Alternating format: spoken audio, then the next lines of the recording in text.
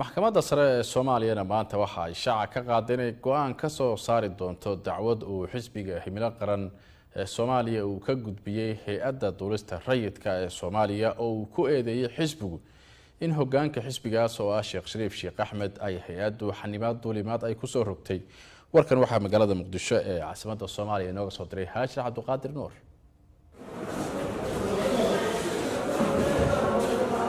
mar kale ayay saaka maxkamadda sare dalka u fadhiisatay dacwaddii ka dhanka ahayd hay'adda duulista rayidka soomaaliyeed. Labada dhinac oo ay dooda u dhexaysay ayaa ku sugnaa kuwaasoo kale ahaa xafiiska garyaqaan guud oo difaacayay hay'adda iyo qarnadii u doodayay xisbiga himilo qaran oo dacwadda soo gudbisay. Ha yeeshee bilowgii maxkamadda ayaa garyaqaan guud ee dowladda waxa uu soo jeediyey in xeerka nidaamka garsoorka iyo dastuurkaba uusan qabin in dacwaddan ay qaado maxkamadda sare dalka waxaana xaq u leh buu yidhi maxkamadda suuriya. Qodobadaas fasiraadeeda ama kiiska ku saabsan gelistiisa waxaa iska leh maxkamadda dastuuriga ah.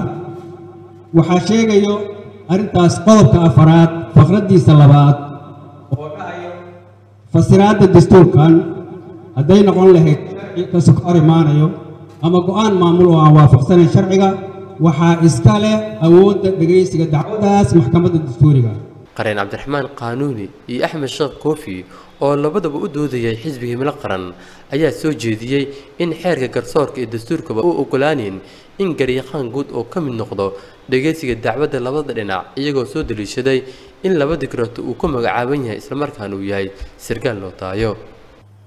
Sharciga garyaqaanka guud baragaraafkiisa qodobka saddexaad. Sharciga garyaqaanka guud qodobka saddexaad. Wuxuu sheegayaa qofka garyaqaanka guud ah ama garyaqaanka guud inuusan ka shaqayn karin shaqo kale uusan qabsan karin. Taa waa qodob. Boyntiga labaad wuxuu leeyahay garyaqaanka guud ee naga soo horjeedo hadda maxkamaddii siduu sheegay fawdo sharci ku sheegay isaga ayaa fawdaynaya. Wuxuu ku fawdaynayaa wuxuu isagaa sheegay waa qoranta adaa sheegay. Waxaad ku fawdaynaysaa fiiri wuxuu leeyahay nootaayo waa barayfad waayo. Dikreetada ou xafiiska ku joogo waa dikreeto madaxweyne. Midda ou nootaayada ku qaatana waa dikreeto madaxweyne. Labada dikreetana waxaa dambeysay nootaayada. Xeerkii horena wuxuu burburiyaa xeerka dambe.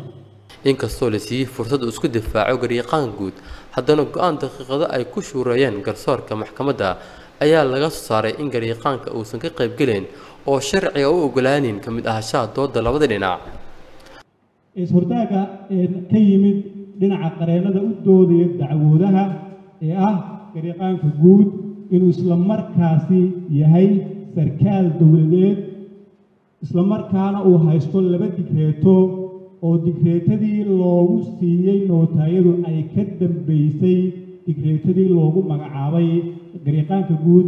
Maxkamaddu waxay go'aamisay maadaama arrintaasi u baahantahay dibhubin loo la sameeyo baadhitaanna la sameeyo arrintaa inay baadhi u dirto lana soo baadho si kumeel gaadhan inta arrintaasi caddaansa garyaqaanka guud aanu ka qaybgelin dacwaddaas dulucda dhegaysiga labada dhinac ayaa bilaabatay iyagoo qaranadii u doodayay xisbigii himilo qaran ay soo gudbiyeen in qaraarka hay'adda duulista hawada uu dhaawac u geysta madaxdii hore khasaare maaliyadeedna uu sababay garyaqaano ka socda xafiiska garyaqaanka guud ayaa iyaguna difaacay hay'adda duulista iyagoo daliishaday inaysan hay'adda shaqo ku lahayn tabashada ay qabaan madaxda xisbiga himilo qaran. Ugu dambeyntii gudoomiyaha maxkamadda sare dalka garyaqaan baashi yuusuf axmed oo soo xiray maxkamadda ayaa sheegay in ay go'aan ka soo saari doonaan. Maxkamaddu waxay u dhigaysaa fadhi kale maxkamaddana insha alla soo gudbay doonto soo gaarsiin doonta maxkamadduna waa xiranta haajir abduqaadir r t n t v muqdisho